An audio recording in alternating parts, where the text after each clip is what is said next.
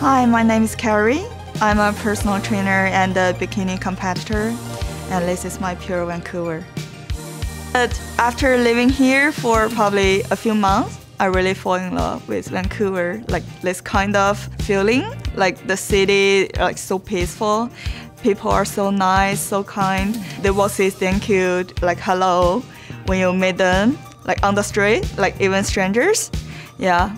So for me, yeah, I think I think it's more open, more friendly city for me.